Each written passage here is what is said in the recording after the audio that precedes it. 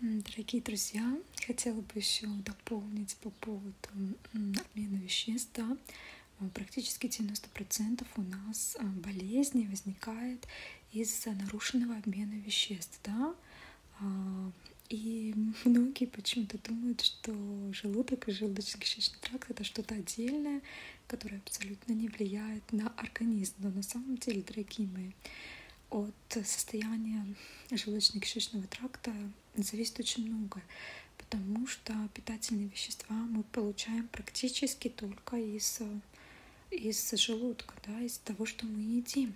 А если у нас а, желудочно-кишечный тракт, если у нас обмен веществ нарушен, то, естественно, у нас получается, что мы недополучаем питательных веществ, мы недополучаем витаминов, минералов, да, и это, поверьте мне, влияет на весь организм, на все органы, да.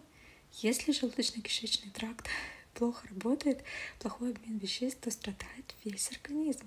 А многие люди почему-то считают, что желудочно-кишечный тракт это что-то такое отдельное, как, допустим, отдельно печень там, там, или отдельно сердце. Вот, но желудочно-кишечный тракт, он и обмен веществ как раз-таки влияет и на все остальные органы. Если мы недополучаем питательные вещества, то наши органы тоже недополучают.